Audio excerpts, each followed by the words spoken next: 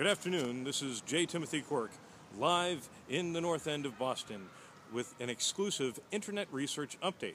I've done some extensive research into this gentleman known as Paul Revere. The statue is behind me, of course. Paul Revere is made famous, apparently, according to Wikipedia, by a song called um, Paul Revere, by a song of the same name, from the third album of the Beastie Boys called Licensed to Ill.